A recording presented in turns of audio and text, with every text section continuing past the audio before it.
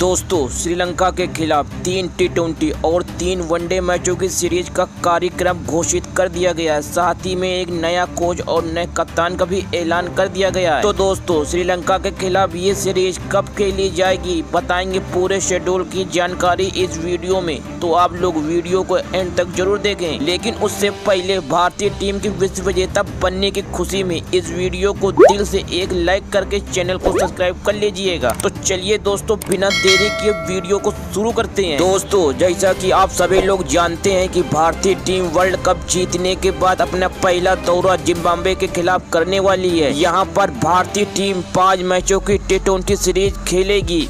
ये सीरीज़ 6 जुलाई से 14 जुलाई तक खेली जाएगी। इसके तुरंत बाद भारतीय टीम श्रीलंका का दौरा करेगी। वहाँ पर भारतीय टीम तीन टी और तीन वनडे मैचों की सीरीज़ खेलने वाली है। आपको बता दें पहले तीन मैचों की टी ट्वेंटी सीरीज़ खेली जाएगी। भारत और श्रीलंका के बीच इस सीरीज़ का पहला टी ट्वेंटी मुकाबला 27 जुलाई को, जबकि दूसरा टी ट्वेंटी मुकाबला 28 जुलाई को और तीसरा और अंतिम टी ट्वेंटी मुकाबला 30 जुलाई को खेला जाएगा। ये सभी मुकाबले भारतीय समय अनुसार शाम को सात बजे से खेले जाएँगे। जबकि दोस्तों, तीन मैचों की वनडे सीरीज़ की बात करें तो भारत और श्रीलंका के बीच इस सीरीज़ का पहला वनडे मुकाबला दो अगस्त को खेला जाएगा, जबकि दूसरा टी ट्वेंटी मुकाबला चार अगस्त को। तीसरा और अंतिम टी मुकाबला सात अगस्त को खेला जाएगा। ये सभी वनडे मुकाबले भारतीय समय अनुसार दोपहर को डेढ़ बजे से शुरू होंगे। तो दोस्तों ये था भारत और श्रीलंका के बीच टी और वनडे मैचों की सीरीज़ का पूरा कार्यक्रम। वहीं दोस्तों बीसीसीआई ने इस सीरीज़ में भारत के नए कोच का भी ऐलान कर दिया। जैसा कि आप सभी लोग जानते हैं कि टी वर्ल्ड कप खत्म होते ही राहुल द्रविड़ का कार्यकाल खत्म हो चुका है। तो उनके स्थान पर बीसीसीआई ने एक नए कोच का ऐलान कर दिया। है बीसीसीआई के सचिव जय शाह ने गौतम गंभीर को भारतीय टीम का नया कोच नियुक्त किया गया। वहीं दोस्तों, इस सीरीज़ के लिए कप्तान की बात करें तो कप्तानी हार्दिक पांड्या करते हुए नज़र आने वाले हैं। जबकि उप कप्तान की ज़िम्मेदारी सूर्य कुमार संभालेंगे। तो दोस्तों, ये थी पूरे खबर की जानकारी। दोस्तों, आपको ये वीडियो पसंद आई तो प्लीज़ वीडियो को एक लाइक कर दे। और भारतीय क्रिकेट से जुड़ी हर एक खबर को देखने के लिए हमारे चैनल को सब्सक्राइब करना बिल्कुल भी न भूले। Thank for watching. जय हिंद।